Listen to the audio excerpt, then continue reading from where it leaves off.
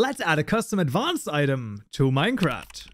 Minecraft modding courses with close to 100 topics ranging from custom tools and armor to custom block entities all the way to custom mobs linked in the description below. Oh! Right, we find ourselves back in the tutorial once more and in this tutorial we're going to be adding a custom advanced item to Minecraft meaning basically that this item is going to have its own custom item class allowing us to do all sorts of crazy things. Now for this, in the item package, we will make a new package called custom. This is not strictly necessary. I just like to, well, basically make this for organization purposes. And inside of there, we'll make a new Java class and we'll call this the metal detector item over here. One convention to follow is you want to end the class name with item so you know that this is an item. To start, we will extend this from the item class right here and we'll hover over this create constructor matching super and in theory we now already have a custom item class. But it doesn't do anything interesting at all. For more information on what you can do is you can start typing in override and you can see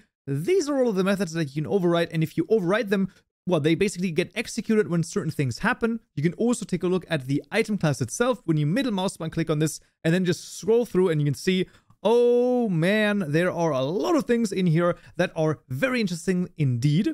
One thing that might be interesting is the use on method. This is called when you use this item on a block or the use method when you right click without looking at a block. In our case, what I want to do is I want to right click with this item and I want it to basically look all the way down, all the way going through until bedrock and if it finds an ore block, then it should output that ore block into the chat. That's all we want to do. And for this, of course, we need to use the use on method right here, this one. So we select this, press the tab key to autocomplete, and it will import the method no issues whatsoever. The first thing we want to do is we want to return the interaction result success. This will just make it so that the right clicking also has the animation associated with it, and that just looks a little bit nicer. We then want to say if p context dot get level dot is client side. And then this is extremely important. We want to put in an exclamation mark here at the front negating the is client side meaning that when we're inside of this if statement we're only on the server. Very important. Then we're going to get the block pos this is going to be the position that we've clicked. We're going to get this by saying p context dot get click position or get click pos here in this case. We will then get the player making sure we choose netminecraft world entity player over here.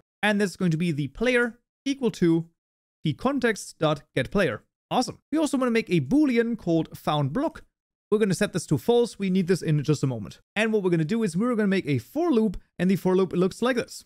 Basically, we will just go through from the block that we've clicked all the way until y level 0 and then 64 beyond that because, well, of course, the world now extends to minus 64. To do that, we're going to get the block state that we've clicked. This is going to be the state, and this is going to be pcontext.getLevel.getBlockState at the particular position that we've clicked but we're going to extend below whatever the i over here is. So as this for loop loops through, we're basically going to go one block down each time, and we're going to have to evaluate that particular block. So we're going to say is valuable block passing in the state over here, and you will see that, well, wait a second, the is valuable block method, that doesn't exist. Exactly, because that we have to create ourselves.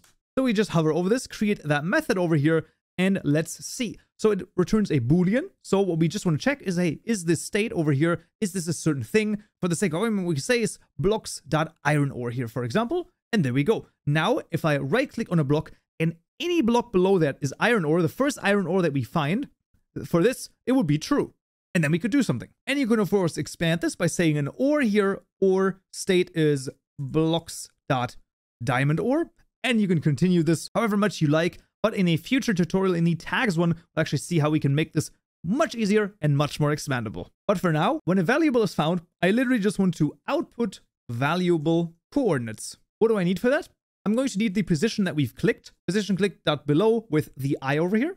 I will also need the player, and I will also need the state, and we're just going to get the block from that. I also want to make sure that found block is equal to true, and then I want to immediately break out of the for loop over here because, well, we're, we're done. We, we don't need to do anything else. Except, of course, create the output valuable coordinates method over here. Once again, just a method, and it already creates for us the method signature that we want. That is awesome. We're just going to rename this to block pos over here. And then I'm going to copy over the contents of this and I'm going to explain. Well, we're basically going to send a system message for this particular player. That literally just means that we're outputting something into the chat. And what we're outputting is a literal component, and that is going to be found. And then we translate the name of the block over here. So this is going to be, if we find iron ore, then it's going to say iron space ore.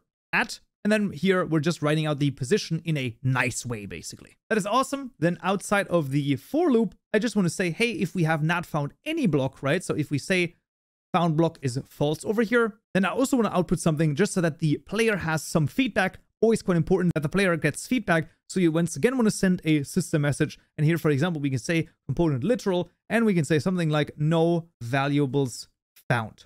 And that is pretty awesome. One last thing, we also want to damage this item so that it can break. So to do this, we're going to say p context dot get item in hand dot hurt and break. We're going to hurt this by the amount one. We're going to pass in p context dot get player. Then after the first closing parenthesis, we're going to start typing player and you can see it suggests to us the consumer of player over here. And we're just going to hit the tab key to autocomplete and we'll say player dot broadcast break event passing in player dot get used item hand. And this is going to also damage the item stack in our hand that we're basically using here. And that is one example of a custom item class. I highly recommend if you're interested in taking a look at some vanilla stuff, you can also click on the item over here and press Ctrl H to have access to all of the different vanilla item classes. You can double click on them, take a look at any one of them and how they work and what they do. Some of them might be complicated, some of them might not be too complicated. What you of course need is going to be Java knowledge. That is always the case. The thing I say until you listen to me and actually take a look at Java, because for example, maybe you're like, you know what, I really want to create something that does exactly the same thing as a snowball. Here is a snowball item. Congratulations. But regardless of this, let's go to the mod items class and actually register our item because, well, we haven't done anything with our custom class, which you can see by the fact that it is gray over here, meaning that the constructor is not called. What does that mean? Well, if we were to, for example, duplicate our raw sapphire over here, and we're going to rename this to the metal underscore detector, and of course, changing the name here, very important, metal, metal underscore detector. Then what we're going to do is you you might be like, oh, now we've created this. No, no, no, no. Look at this. New item. And here, it's still gray. When you make a custom item class, you want to make sure that you also call this. So this needs to be a new metal detector item.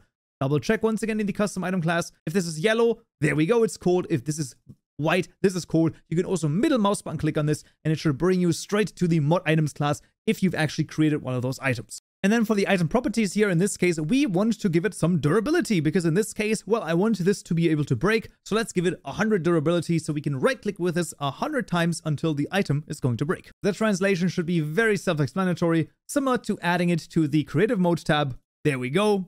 In the item model JSON file, also no worries at all. Let's add the texture as well. There we go, the metal underscore detector, and those are going to be all of the things that we're going to need for the metal detector to work. So let's go into the game and see working.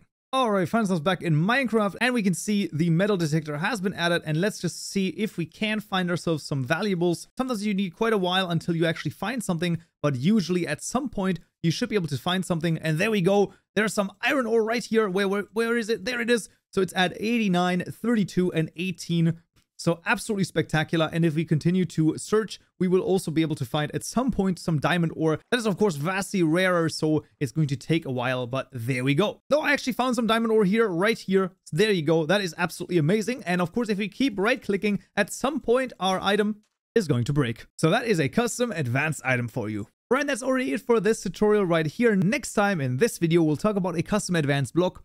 Hope to see you there. So, yeah.